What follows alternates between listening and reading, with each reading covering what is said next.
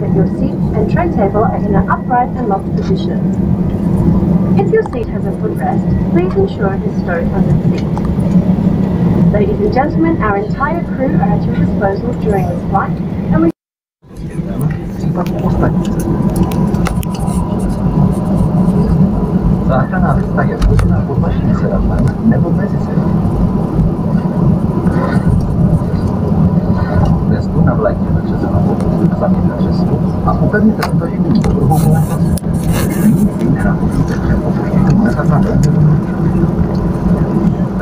มัน儿ป็去อิฐ